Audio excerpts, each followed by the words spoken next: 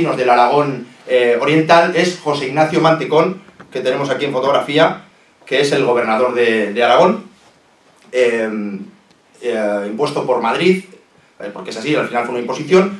se han perdido competencias, pero también es cierto que, que Caspe cuenta con, algunos servicios propios, por ejemplo, justicia, la delegación del Tribunal Popular de Justicia todavía seguirá abriendo causas hacia febrero de 1938.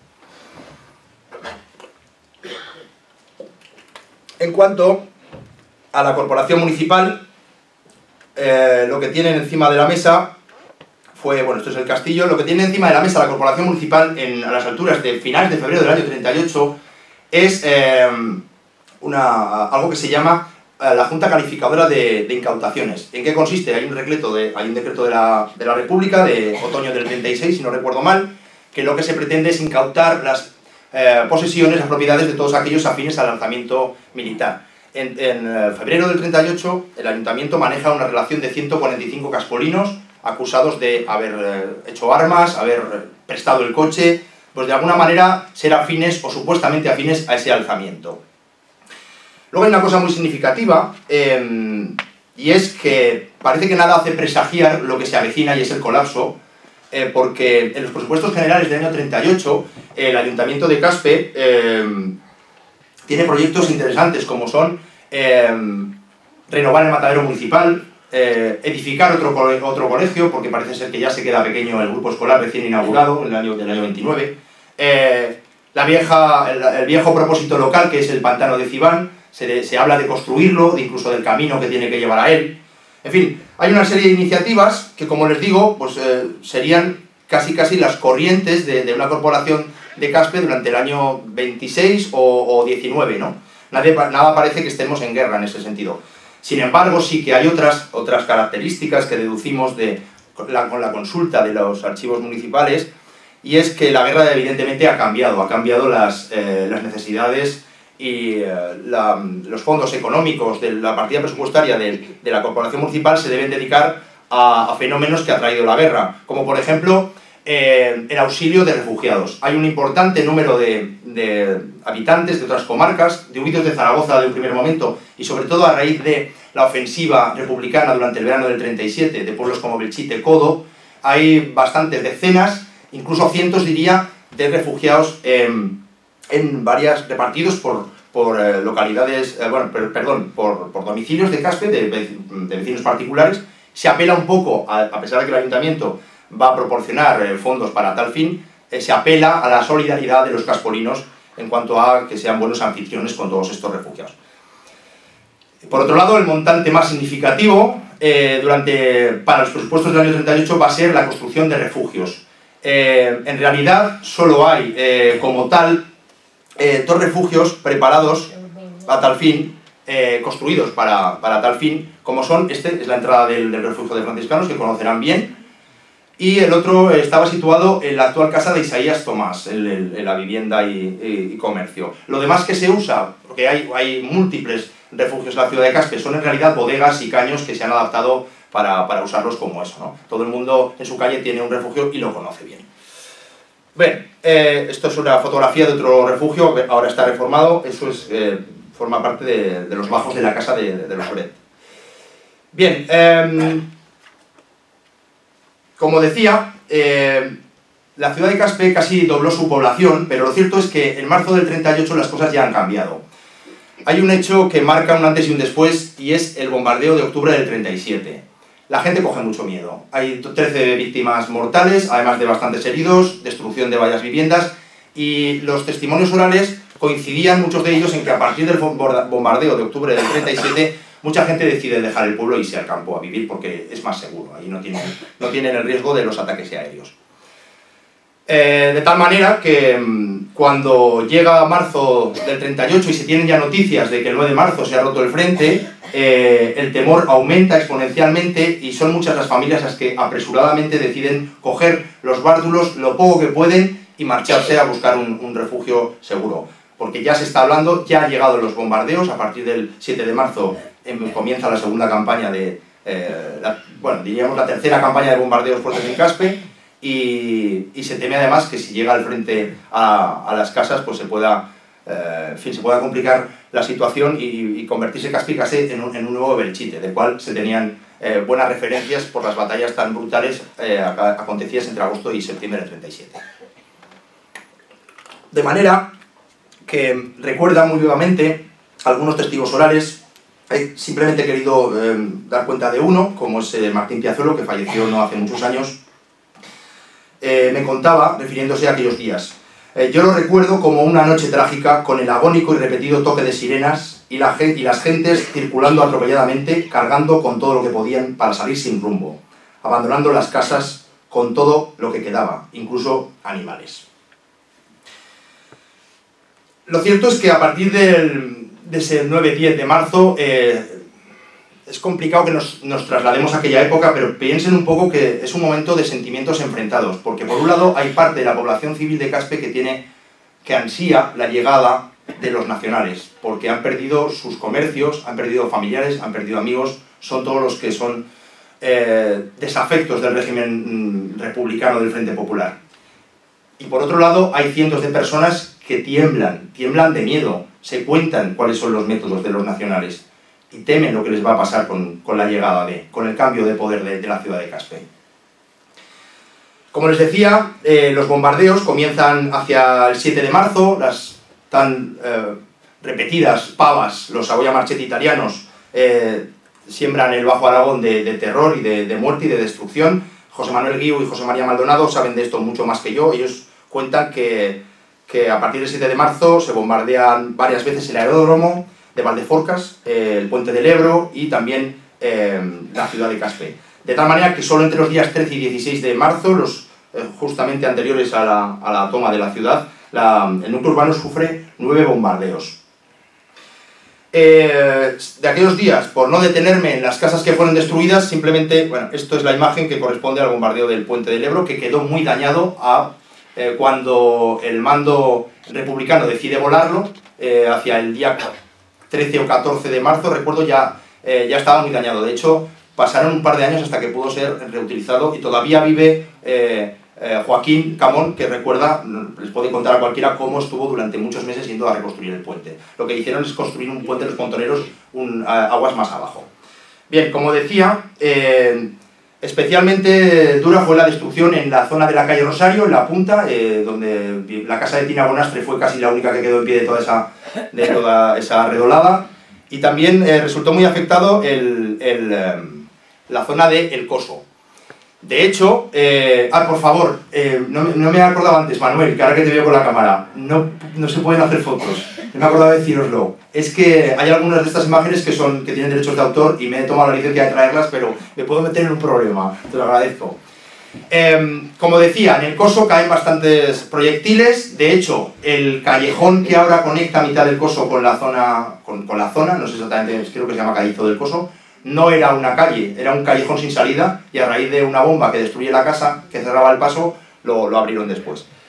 Esto es una fotografía de Pepe Campúa, como veis es la calle Gumá y ahí se, aprecia claramente cómo a la altura eh, más o menos enfrente de Cardo, un poco más adelante, hay una casa derruida por una bomba y esto es eh, más o menos lo que fue hasta hace unos años el Banco Zaragozano. En la calle Guma ya veis que la casa también quedó para, para el arrastre.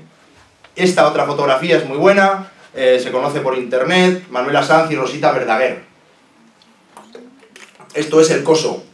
Eh, entendemos que corresponde ya hacia el 18, 19, justo en el momento, momentos posteriores, días posteriores a la toma de la ciudad por parte de los, de los eh, nacionales. Según el registro civil hubo al menos siete muertos a consecuencia de, las, de, las, de los bombardeos de, aquellas jornadas. El frente ya está a las puertas, eh, se toman ya decisiones, eh, se abandona el, el, aeródromo de Caspe el día 12, el día 13 se evacúa ya el gobierno regional, se vuela el puente del ferrocarril, aquí lo tienen, esta fotografía que es muy, muy expresiva, esto ya corresponde a la etapa nacional de cómo eh, había un batallón de ingenieros republicanos volando puentes y detrás un batallón de ingenieros nacionales eh, arreglándolos, ¿no? Ya ven que a base de travisas consiguieron poner de nuevo en pie el puente del ferrocarril. Em, bien, como decía, eh, se evacúa todo lo que es el gobierno regional, también el ayuntamiento, em, es, eh, son unos días en los que Caspe queda, eh, diría que casi completamente vacío, de tal modo que hay calles en las que no hay nadie. Eh, cuenta siempre Felipe Vicente que cuando entraron las tanquetas italianas por la fileta, solo estaba su padre en toda la calle. No había nadie. se van tanto gente civil por mera precaución, que no tienen nada que temer porque su implicación política es, es nula, pero te van también lo más destacado de, los políticos izquierdistas de la localidad y, bueno, mm, prácticamente ninguno de ellos volverá ya a su pueblo, ¿no? Eh, Manuel Bea, que era el alcalde entonces, eh, Manuel Sorrosal, que fue el único que detuvieron en Barcelona y lo fusilaron en el año 42, Emilio Bordonava, Enrique Laseras, por supuesto José María Repollés, el propio Mantecón. Es un poco una generación perdida, ¿no? porque muchos de ellos, como les digo, rearán su vida en, más allá de la frontera, al otro lado de los Pirineos, algunos incluso en México o en, otros países, y se les perderá la pista para, para siempre. Es también un, drama al que no nos referimos en, en demasía y quizá deberíamos. Bien, hay otra fotografía que me permite hablarles eh, levemente de lo que fueron, eh, otra, otra de las realidades, de las muchas realidades de aquel caspe de, de la etapa republicana, del final de la misma, como fueron los presos.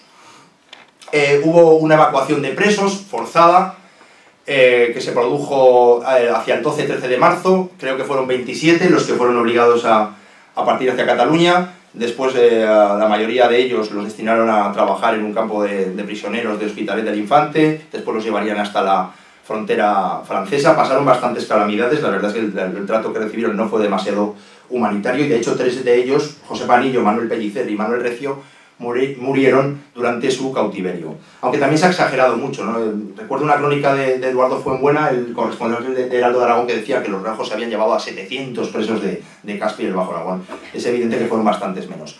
Esta fotografía corresponde al momento de la liberación del campo de Balmuel, campo de prisioneros que alojó un importante número de caspolinos. En la fotografía aparecen Jesús Cubeles Borraz, si no me equivoco es el primero que vemos eh, que tienen a su izquierda, eh, su hijo, Casimiro eh, Cubeles Borruey, Ramón Catalán aparece arriba del todo por la altura, lo distinguimos, ¿verdad? Y el que tienen en, el centro de la foto es, es, el general García Baliño, que acaba de liberar a los presos de Balmuel. También se ha hablado mucho del campo de prisioneros de Balmuel. Hay testimonios en internet que lo, lo, pintan casi como un centro de reclusión idílico y otros pues, pues lo ponen mucho peor. ¿no? Estaba em, más o menos coincide, coincide parte de este campo de concentración, este campo de prisioneros, con las actuales instalaciones de Motorland Aragón. Bien, sigo robándole tiempo al tiempo porque quería, quería hablar un poco de, de todos los temas y no extenderme demasiado, en demasía. Bien, vamos a ver.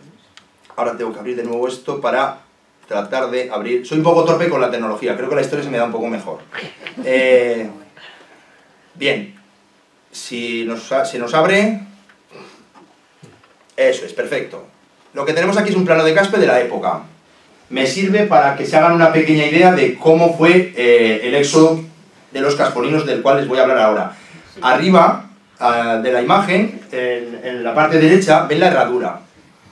Eh, las flechas azules corresponden al avance nacional, en una primera fase. En la segunda las cosas no cambiarían demasiado y lo cierto es que la herradura, excepto la, la zona de la entrada, la que tuvo algo más de problemas, porque allí sí que hubo frente entre, entre, entre los brigadistas internacionales y, y los soldados eh, sublevados, las tropas sublevadas, no hubo muchos, eh, muchas complicaciones. Fue la zona escogida por la mayor parte de los caspolinos para refugiarse durante los días, de, los días previos de la batalla. Eh, la herradura, pues como todos sabemos, era eh, un lugar ampliamente ocupado, era una pedanía con su propia escuela, y quien más y quien menos conocía allí gente, tenía familiares y tenía un lugar donde cobijarse. Eh, mucho peor les fue, bueno, de la herradura sí que quería comentar, nada, dos anécdotas, parece ser que algunos hombres fueron llevados para trabajar en fortificaciones, en, el retroceso de las tropas republicanas los, los llevaron con ellos. Por lo menos hay varios casos de quienes se escondieron para que no, no los cogieran presos. Hubo también casos de pastores a los que los obligaron a retroceder con, con, su ganado y lógicamente el ganado ya nunca volvió y alguno de ellos llegó hasta Francia ¿no? y después encima tuvo que rendir cuentas. En cualquier caso los de la herradura no les fue demasiado mal si comparamos con la situación en la huerta abajo de la imagen a la derecha.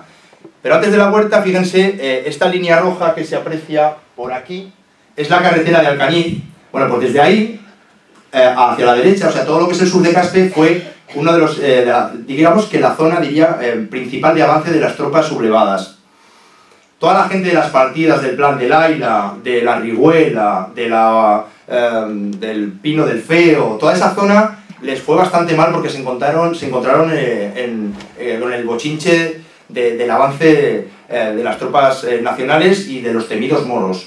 Y todavía les fue mucho peor a la gente de la huerta, que, eh, como ven aquí delante del río Guadalupe, es donde se libraron los combates de más importancia junto a la zona del Vado, y la verdad es que todos los testimonios coinciden un poco en lo mismo.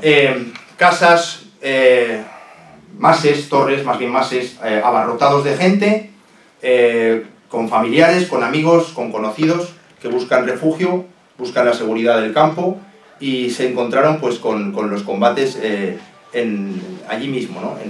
encima de ellos. No fueron demasiado conscientes, es una cosa muy significativa. Les preguntas, brigadas internacionales, no saben, la gente mayor, porque bastante tenían con intentar, sobre, intentar sobrevivir. Eh, oían cañonazos, oían bombardeos, oían tiros y lo que hacían era no salir de la torre, que, que eh, estaban a mejor resguardo que desde luego que fuera. He traído una imagen eh, muy bien. Eh, es esta, que nos la cede gentilmente la familia Cebrián. Eh, me parece significativa para hablarles de una historia un poco como, como paradigma de lo que se sufrió durante aquellos días. en esta fotografía aparece Antonio Cebrián Campos, un caspolino que es el de la derecha del todo, Mariano, si no me equivoco, ¿verdad? Sí. Y debajo es, su hijo, su hijo Mariano, que aún vive para contarlo, tiene una buena cabeza. Y bueno, su hermano, su hermano perdón, su hermano. Su hermano Antonio, una, una de, las, de, las, de tantas tragedias de las que sufrieron los ciudadanos de Castell durante la guerra, acabaría asesinado en un campo de concentración nazi. Eh, la familia de los Tebrián, los, los Antón, dichos, conocidos cariñosamente, se habían marchado eh, ya en febrero del 37, además porque tuvieron la mala suerte de que en el bombardeo de febrero, del 19 de febrero del año 37, su casa es una de las pocas afectadas, vivía en la calle del Muro, la dejó la dejó en ruinas y decidieron marcharse al campo. Durante estos días de marzo del 38, pues como les digo, el MAS les había llenado de, familiares y conocidos, recibieron la, por sorpresa la visita de, Antonio, eh, había sido llamado a filas de manera obligada con su quinta y el destino quiso que lo reclutaran, que lo integraran en, las, en la Garibaldi, con las brigadas internacionales. Y la Garibaldi estuvo aquí en Caspe y Antonio, junto a otro caspolino, eh, se presentó en el más de la familia, sabía que estaban allí, los visitó brevemente, bueno, pues imaginaos momentos de, de, gran emoción y intensidad. Después la familia, la familia Cebrián se vería obligada a retroceder y llegarían hasta, hasta Cataluña, pasando mil penalidades y, y volvieron luego en, en, Caspe ya en el año 39 a, a, a rehacer una vida que tenía en muchos sentidos poco que ver con aquella. Bueno, las historias, como digo, en la huerta son muy similares, me detengo simplemente en dos. Esta otra, que esta historia familiar la conozco bien porque pertenece a la familia de, de mi suegro, los, los Anay, que también se habían marchado precipitadamente en el verano del 36, porque habían asesinado a un miembro de la familia, eh, se cobijaron en esta torre. Detrás justo de aquí, que esto es la Vuelta del Cañar, mucho, muy, muy arriba del, del río Galope, justo debajo de lo que es el actual aliviadero, detrás justo está el río.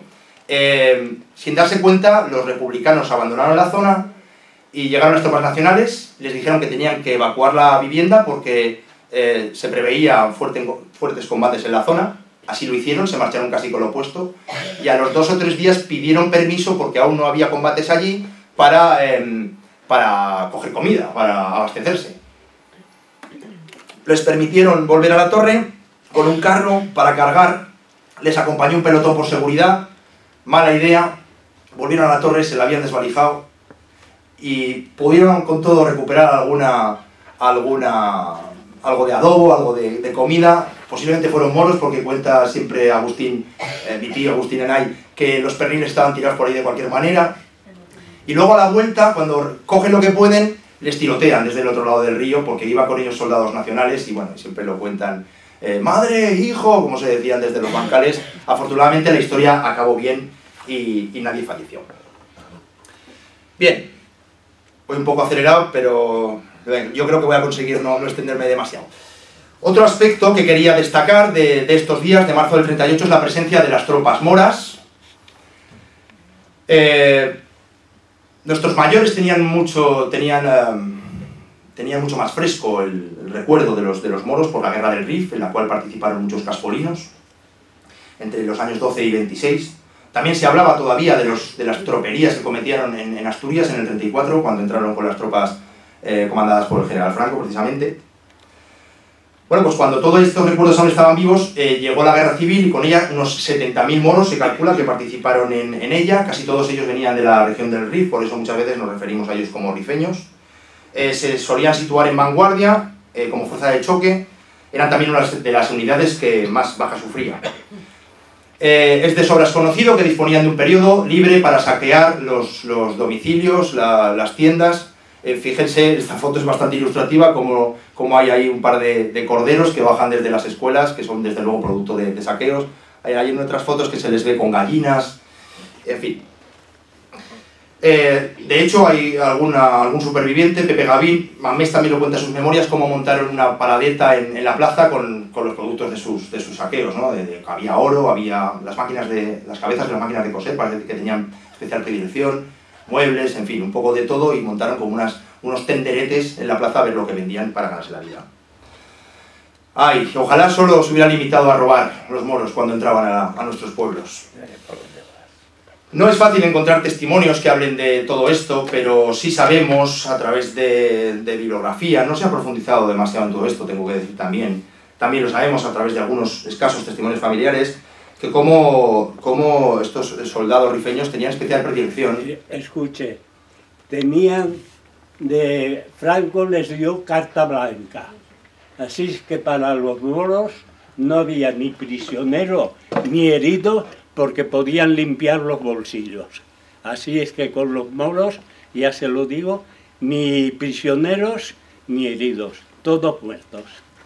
Eso es lo que hacían los Sí, la verdad es que las prácticas de ellos coinciden los testimonios en que fueron bastante cruentas.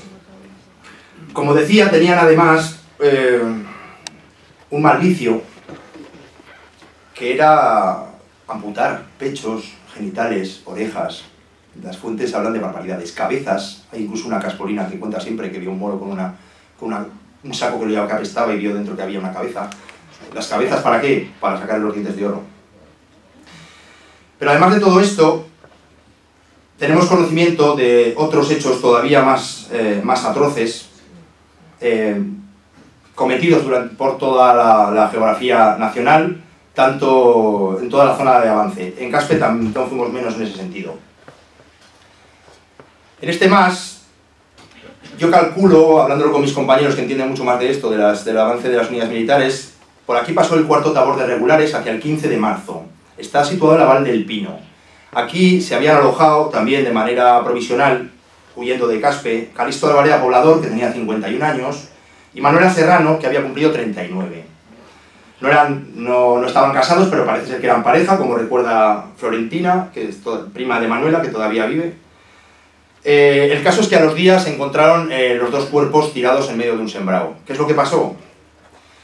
Florentina dice, asegura que los moros Leo, cito, los moros mataron a mi prima cerca de donde estábamos, estaba en la Val de las Fosas, a él lo mataron y a ella la mataron y la tiraron en medio del sembrado.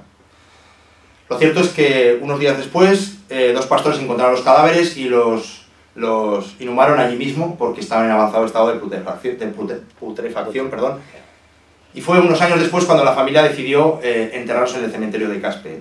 La fecha del 17 de marzo eh, calculo que es aproximada. Hubo otros casos, también recogí la historia de José Amorós, un, joven de 21 años que estaba de permiso, era soldado republicano, iba desarmado, lo mataron en, una torre a escasos 3 kilómetros de aquí, en la Riguela. También se comenta de otras violaciones que hubo por, la misma zona, aunque entenderán que no he querido profundizar con la familia, sino simplemente con los que han querido hablar de ello muy generosamente, como ha sido la familia de Joaquín Serrano. El que vemos en la imagen es su padre, Joaquín Serrano Rayo. Era un hombre al que le, venía persiguiendo, le venía acompañando la mala suerte casi desde siempre. De niño perdió un ojo y un par de dedos de la mano por un, accidente, aun con todo fue a la, mili, al, RIF, eh, le llegó licenciamiento por su minusvalía dos meses antes de, de cuando le tocaba eh, licenciarse. Bueno, en marzo del 38, después de haber emigrado y demás, estaba en Caspe, formaba, tenía una relación con, con, eh, con Carmen, una chica de Valdeangorfa, y en marzo del 38 se encontraba junto a toda la familia en La Rebalsa. La Rebalsa es eh, donde están ahora actualmente los tres túneles.